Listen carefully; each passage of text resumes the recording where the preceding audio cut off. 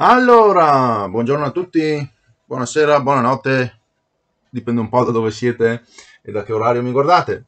Ma eh, oggi mm, voglio fare un video così, eh, come si può dire, mm, per spargere conoscenza, visto che eh, non ho trovato informazioni al riguardo, ok?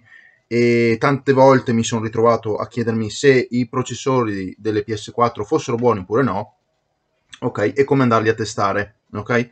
Allora, io qua ho una scheda sub 001, aumentiamo lo zoom così vi faccio vedere meglio, sub 001 con il relativo codice sotto. E esistono diversi codici sotto che terminano per 11, 21, 31, 41, 51, 61, dipende un po', eccetera. E sono le varie piccole revisioni che ci sono. Allora, eh, il processore, chiamato anche APU, ok?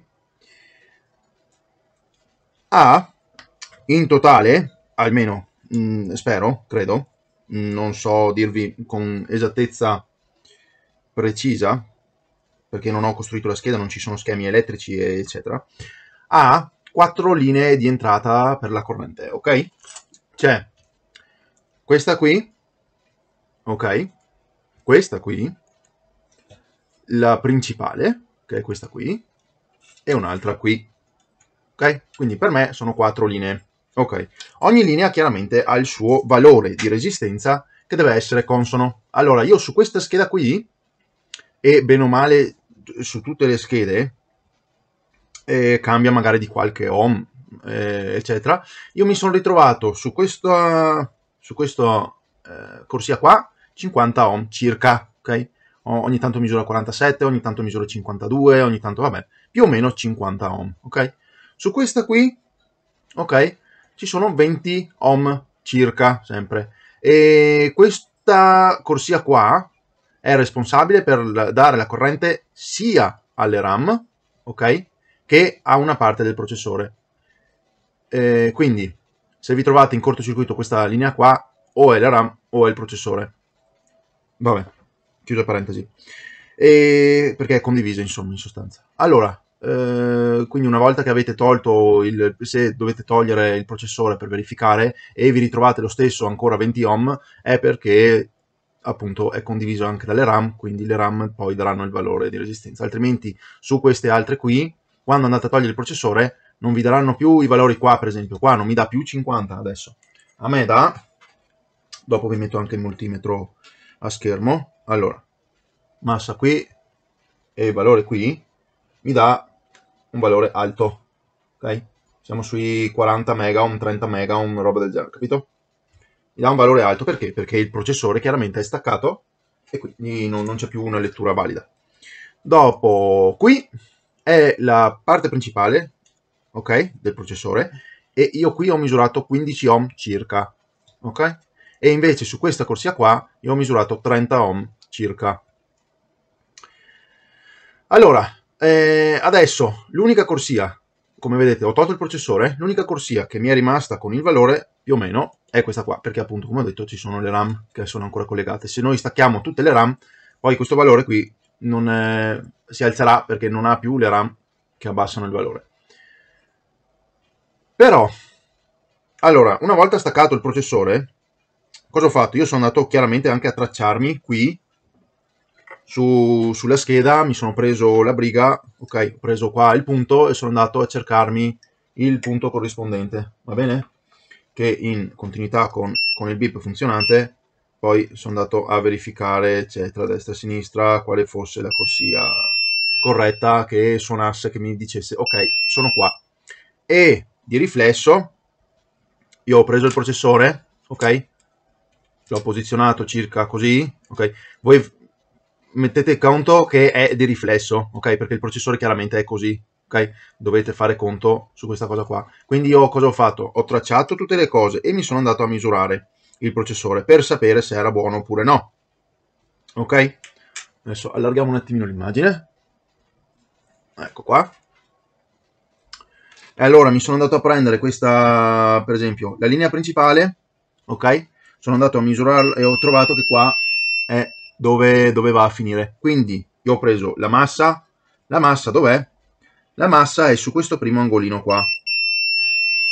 Ok? A metà ci sono tre, tre piazzole qui, la, la piazzola a metà è quella della massa. Quindi, di riflesso, ok, io sono di qua, ma sul processore sono di qua, perché chiaramente è sempre stessa cosa, ecco qui, questo qui è l'angolo che devo andare a prendere. Quindi qua avrò la mia massa, ok? Io quindi vado a mettere il puntale nero sulla mia massa, ok? E vado a misurare il primo angolino qua, perché da questo angolino qui, eccolo qua, quello centrale, è quello che mi serve. E io vado a leggere 12 ohm, ok? 12 ohm è abbastanza vicino a 15 ohm. Di conseguenza è corretto. Cioè nel senso il processore, sebbene l'abbia staccato con il calore eccetera, è ancora sano su questa linea. Ok? È ancora funzionante su questa linea. Se poi vedete 0, basta, è morto. Quindi inutile fare altri lavori. Poi sempre sulla, con il puntale nero sulla massa del processore, ok? Sono andato a ricercarmi lo stesso anche le altre linee. Quindi quella principale è a posto mi sono andato a cercare questa. Questa qui mi viene qua. Quindi tre pallini in basso e tre pallini da sinistra. Su questo lato qua, quindi di riflesso viene su questo lato qua in alto. Quindi parto da questo pallino qui, 1, 2, 3, 1, 2, 3, eccolo qua. Quindi vado a prendere questo puntino qua, lo vado a misurare sulla massa e vado a vedere che ho 27 ohm. Ok? il che è corretto, perché si avvicina molto a 30 ohm, ok? Quindi anche questa linea qua è salva. Dopo, questa qua, che è in comune con le RAM, dov'è che andava? Se non ricordo male qui? Sì, eccola qua, ok? Quindi, vediamo, ci sono le due corsie qua più lunghe, l'ultimo pallino della corsia. Quindi le due corsie qua più lunghe, la seconda, l'ultimo pallino qua della corsia. E l'ultimo pallino della corsia mi misura 380 ohm. Va bene? Perché se misuro 380 ohm eh, ed è così distante, va bene? Perché 20 ohm, ok, è il valore di resistenza interna delle RAM. Per la legge di Ohm, quando ci sono più valori di resistenza in parallelo, ok, il valore di resistenza totale ehm, si avvicina più a quello del valore di resistenza più basso. Quindi se le RAM sono di 20 ohm, io qui ho 20 ohm, anche se qui ho un kilo ohm, ok? Perché? Perché il valore di resistenza più basso è quello delle RAM e quindi qui vedrò quello delle RAM. L'importante è che non sia eh, troppo basso, capito? Tipo se qua io per esempio ho 50 ohm, potrei essere in dubbio, ok? Se io ho 0 ohm, chiaramente è morto, è in cortocircuito e non va bene. Allora, poi c'è l'ultima qui, l'ultima qui che dovrebbe fare 50 ohm e questa qui dov'è che era? Adesso non mi ricordo già più. Su quest'altro angolo qua, ok?